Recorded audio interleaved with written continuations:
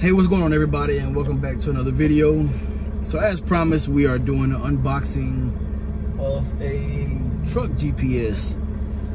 So I'm hoping y'all guys can hear me fine. I hope y'all can see fine. So I pretty much ordered this off of Amazon. I will drop a link in the description below to um, if you just wanted to go ahead and look at it before I actually give it a test try. So um, let's go ahead without further ado and cut this thing open. Um, what I'm pretty much trying to do with this GPS is I was pretty much trying to find something that would be cost efficient and work as good as I needed to, which pretty much, you know, a GPS that would not get me stuck down somewhere I had no business being. So let's go ahead and cut this thing open. Like I said, I did order this from Amazon.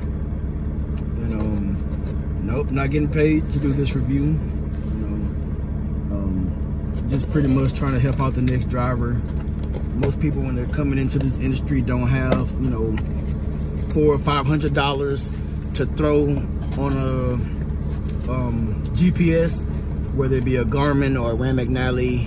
You know, me personally, I mean, I've been driving for a little while and I just can't see myself spending that amount of money on a GPS. And looking at the reviews of this GPS compared to the other GPS, as far as the Garmin and Rand McNally, man, I mean, they all seem like, I mean, they had a lot of people that had switched from those GPSs to come over to this particular one. So let's go ahead and see what we're working with. so we get the box, the GPS box that's in an Amazon box. So I guess instead of just shipping it like this, which makes a lot of sense to just go ahead and hide the, the product. So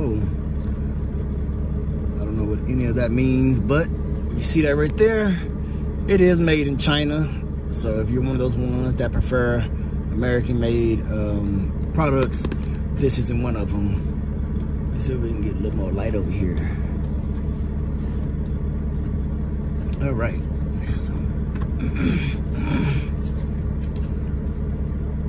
Open it down here from the bottom.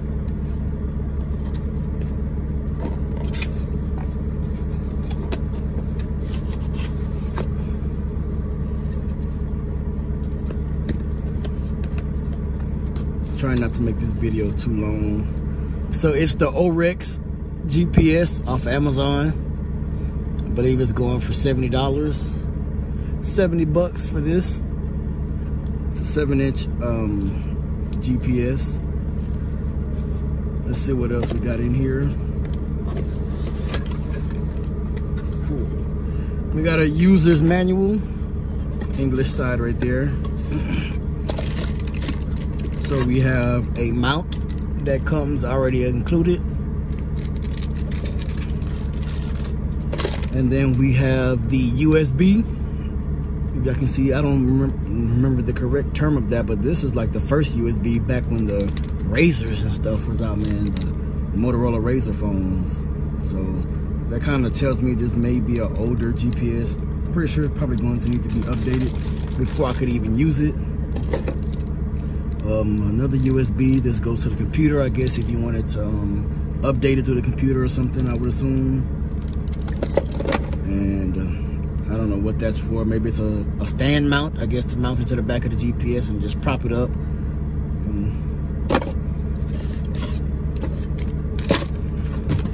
Let's see if there's anything special in this user's manual.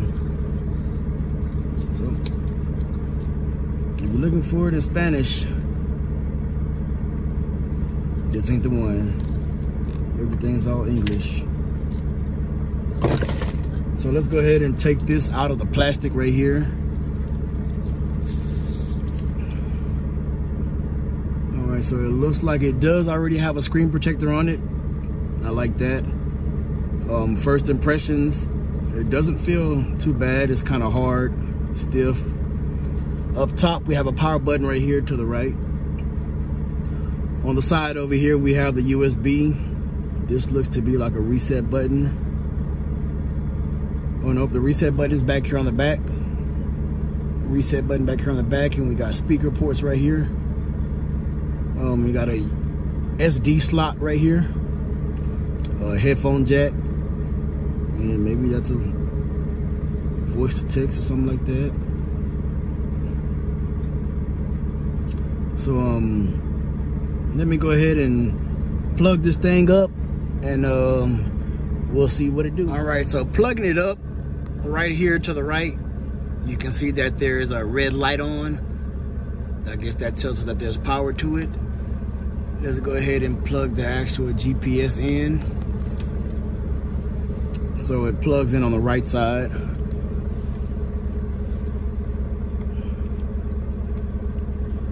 Let's see what happens. All right, automatically comes on. Thought I saw a red light over here. Oh, see a red light in there. Oh, Rex.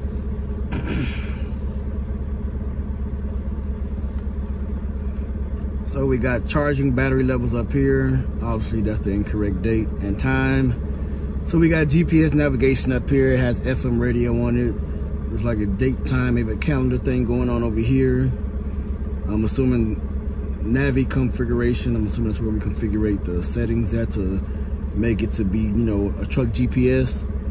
We have a volume, GPS information and settings. So I'm gonna go ahead and click on nav configuration and see what it says. So, okay, so that looked like that's want me to put in an address or something. Or maybe it's an update. No, I'm gonna exit out of that. Let's go ahead and go to settings. So you can hear it, the noise in the background beeping when you um, click on the stuff. So we can, I guess I'll click on system information right here. Oh, that's not doing me anything. It looks like it's an eight gigabyte uh, device, so if that helps anybody 256 megabytes of ram that kind of makes me think that this may be slow um, let's click on GPS navigation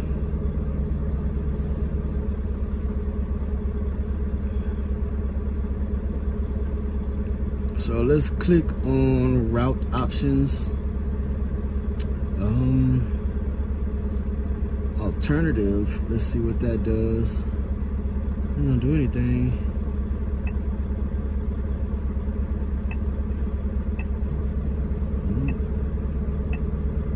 Route settings. Okay, so I went to the route settings and the vehicle now it says car. Let's see what are our options. We have car, pedestrian, bicycle, I guess emergency personnel. We have bus, taxi, and truck. So I'm assuming if I can click on this right here, I can edit the truck. Okay. So a truck. I'm gonna leave it a truck. Max speed. I don't like that it's showing in that. I would prefer it to show in miles per hour. Confirm parameters of each route planning, sure. See, I don't understand. I need to change that axles, maximum allowed weight, actual weight, freight. So let's see if we can go in the settings somewhere and change that, but I am gonna go ahead and put that on truck.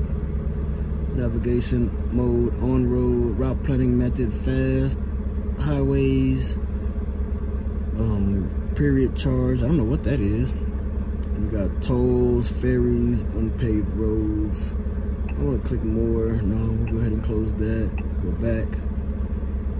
So I need to figure out a way to go into the settings and make it show miles per hour and not, um, what's that, kilometers. So what is this? Country information. Okay, let's see if we can find our country in here. If it's in alphabetical order, we'll probably be all the way at the bottom.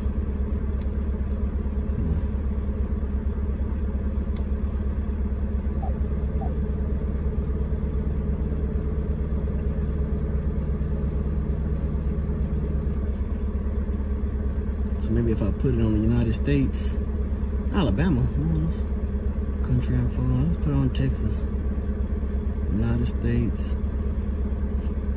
I'm in North Carolina right now. I wonder if that'll make a big difference. Expressway, don't like that.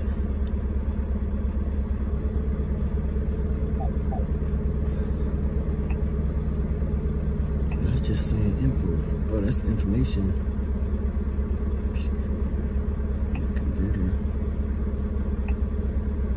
So I got all this stuff on here that we really don't need.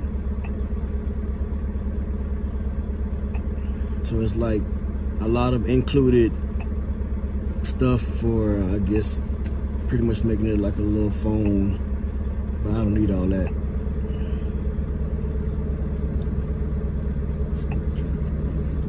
Maps. Let's see if we can go to map settings. Um, don't need that.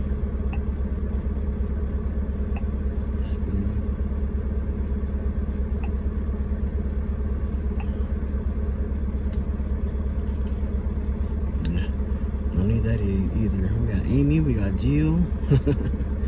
Natural voice. Okay, there we go. Change our distance to miles and feet.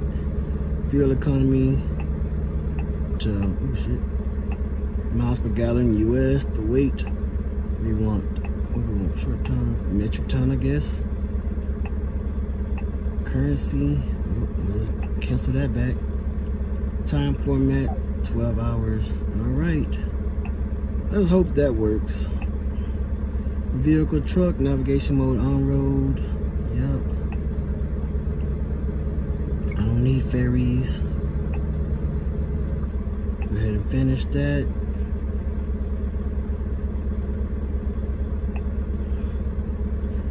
Alright, so let's go back to the GPS again and try it again. Also, this is what the map looks like right here. Okay, we got miles per hour, our speed over here. Let's go to menu, route options, create a new route. Um, current GPS, set the start point, we'll disable the GPS receiver. Okay, well, I need that. So now what? Plus sign. Okay, this let's just type in says keywords. All right we'll just type in houston. See what happens. Houston. Oh snaps. Okay we got 61 results in houston. Type the results of each category all right what we got asheville so I'm close to Asheville, so we'll just do Houston Circle and see what comes up. I guess that's showing where that's at. I'm gonna click select. Length, all right. Our height should be 13.6. Oh crap. Oh crap, hold on. 13.6 is done. Trailer, axles, one, two, three, four, five. maximum allowed weight 40 tons, which is 80,000 pounds. Actual weight, still gonna put 40. Done. Freight doesn't really matter. Width, I guess I'm gonna leave that at that. I know we're longer than that, I believe. we're, What? 40, 50? So I believe we're about 70 feet long, or maybe 75, but I'm gonna just put 70. And press OK. And I guess this shows your current GPS position and where you're going. Press go. So I guess if you don't press go, it'll go for you. Just put on truck. Go. And distance you're going is 20 miles. So, I mean, so far it looks like, I mean, it just pretty much looks like I need to play with around with it a little more. Um, that's pretty much it. I'm gonna continue playing with the settings, get everything set up for me to use it. Um, I'm gonna run this for about four weeks. Then I'll go ahead and give y'all you guys a review. But anybody that can't wait for the review, it's the OHREX GPS find it on Amazon. It's about 70 bucks, I believe. It might price might have gone up a little bit, but um, yeah. Stay tuned for the actual four four week review on this GPS, and we'll go from there. So um, once again, I appreciate you guys for watching. Make sure you share, like, subscribe, and uh, we'll keep them coming out.